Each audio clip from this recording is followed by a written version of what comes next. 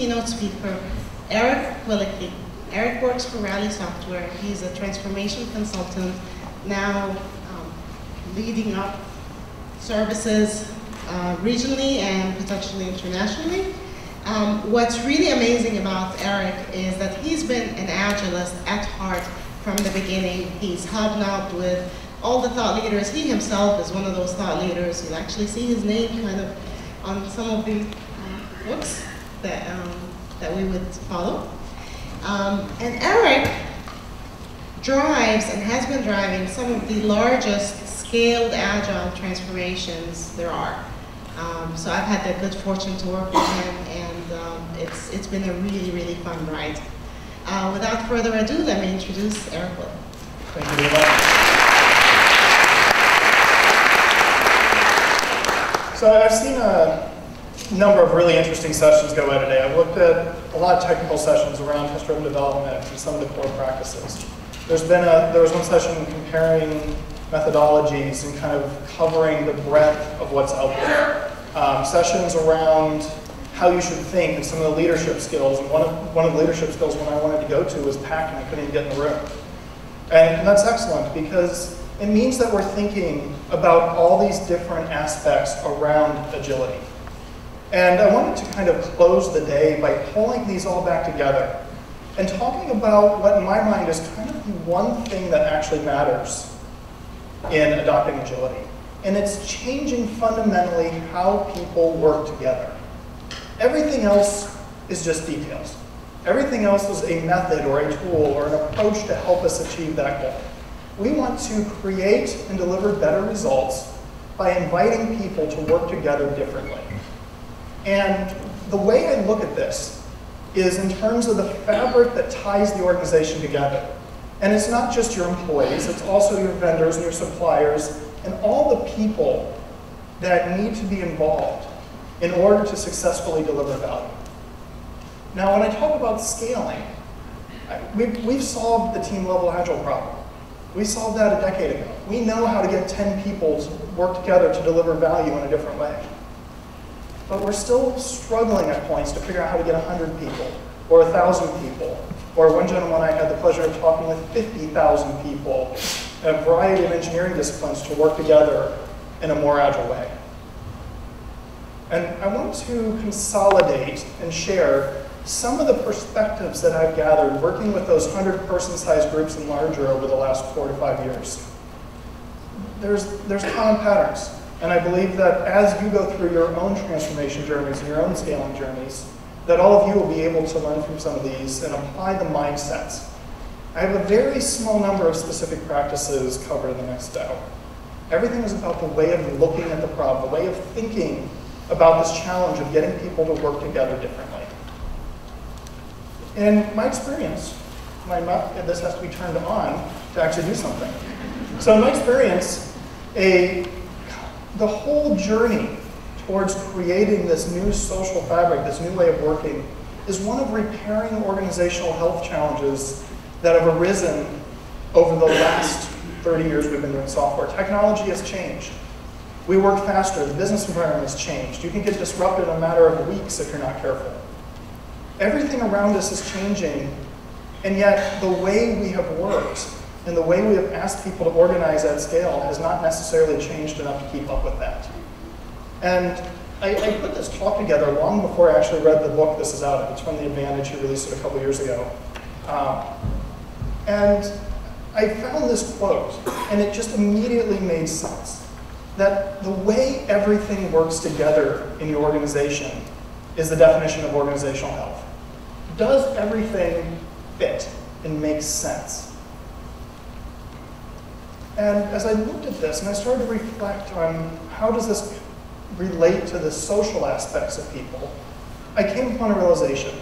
Who does your process actually serve? Who is it written for? Why does it exist? And the fundamental answer that has to exist is that the process is there to amplify the capabilities of your people.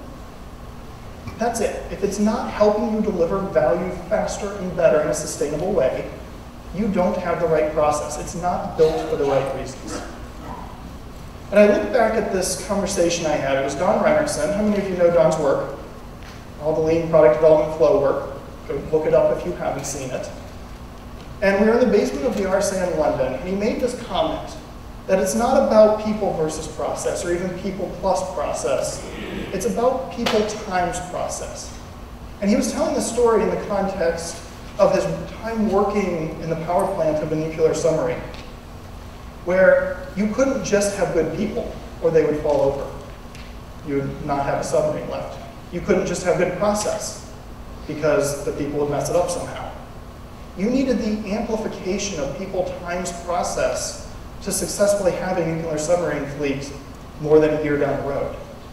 And I brought this back into software and realized that everything we do with Agile is about amplifying people. It's about allowing people to unleash their potential to the next level in the pursuit of the business value you're trying to provide. As such, our processes should be designed around those people. Take all the wonderful user-centered design techniques and the user experience ideas that we have and apply that back to how we build our processes, how we design our work day to day, so that every meeting, I love the conversation here about defending the meetings, every meeting is accelerating the ability to deliver. Everything is providing that natural fit together approach for the people that are trying to accomplish the work. As such, what you're really building is the scaffolding the support structure along which excellence can grow. It provides the mechanism for that excellence to take root in your organization so that you can unleash your people.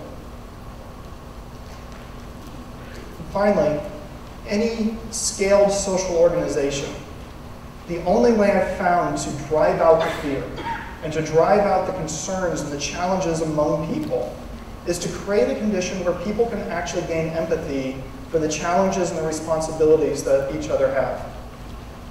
And any framework or any methodology that you're building should have that at its heart. Provide as many opportunities as possible for people to learn each other, to gain the empathy and gain the perspectives and the trust that comes along with that, that you get from working with people who don't do the same thing you do.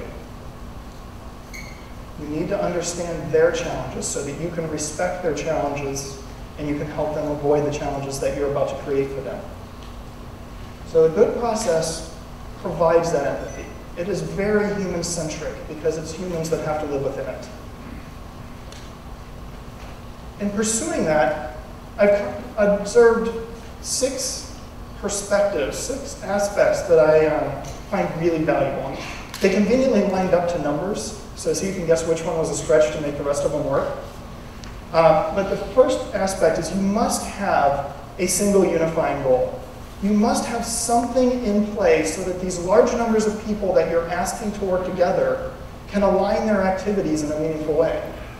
Can align their activities so they're pursuing something together, not just working in the same room. And providing that clarity, providing that visibility into the overall purpose is a challenge. And for those of you who are leaders in this room, who are in the product management space or in the actual management of people, the more you provide that consistent, clear message over and over again, even if it feels like you're being incredibly redundant, the more effective you will find people working in your organization. The more they will actually make decisions that are in alignment with the goals you hope to see them pursue. So we want to provide that clear direction. We want clarity of purpose. One, one of these things, I have, have a way I test this actually, is I'll go into an organization and I'll find a team. And I'll go to that team and I'll ask who's the newest member of the team. Ideally, they're a vendor, right? Ideally, they don't actually even work for the company. And I'll go over there and say, hey, what are you working on? Really, you're, you're wiring up this new API. Great. What feature is that a part of? Oh, so you're connecting the service bus. Okay. Well, how does that, what, what initiative does that roll up to? How is that helping advance the company? And I'll keep popping that stack all the way up until I can see if that individual, that new developer that was brought in from a contractor to help, can connect the work they're doing to the overall vision and the overall direction of the company right now. Now, almost uniformly, first time, they can't. They might kind of know the name of the program they just joined. Most likely they know the feature because they got to know the product owner a little bit but they don't necessarily have that full stack. But what that tells me by asking those questions is where I need to start working. Which layer of leadership should I start to have the meaningful conversations around, hey, are you communicating your vision? Are you taking all that wonderful stuff you've got in your head and sharing it with your organization? And generally, you get people to create alignment that way. They start communicating. You highlight the need to share not only the work you're doing or the feature you should be working on, but the purpose behind that. And what you're trying to do here is create the ability at scale to get many people aligned against a very small surface area of problem. You want as many people as possible working on the highest impact work for your business. Whatever market you're in, you want to be doing the best, most important work in that market at any given moment. That's how you create disruption, that's how you protect yourself from disruption. By doing this, though, by providing this clarity of purpose against those people, you enable this decentralization aspect. One of the things I see in almost every company, initially in a transformation, is that they feel like they don't have enough managers to keep everything moving in the right direction. They're really struggling with management bandwidth. And there's really only two ways to solve that. One is to hire more managers, which is really hard to hire good, successful managers. Or you can create more people with the capability and authority to make the decisions so that the managers aren't the bottleneck anymore. And you cannot successfully achieve that unless you have this clarity of purpose. Without that, you will get divergent decisions, you will get people moving in different directions in the organization, and you will lose that clarity that is so important to have as an organization. When you have that clarity of purpose, the decisions are much more congruent. Even if they're wrong, they're much fairly likely to be close to the desire you want and easy to fix. And that's the aspect that I'm pushing towards when I look at providing this common purpose. You want a lot of people working in the same direction on similar things with the ability to make effective decisions. After all, you're paying these people a lot of money. You're paying them to think, not just to type. So let's leverage that. Second, I also provide clarity of improvement. Agile teams are really good at holding retrospectives and finding things to make better. That's built into every Agile process I'm aware of. It's almost the definition of Agile is that we do things better than we did before. But as an organizational leader, sometimes I want those improvements a little more targeted. If I'm working in a market where I'm making strong commitments to customers,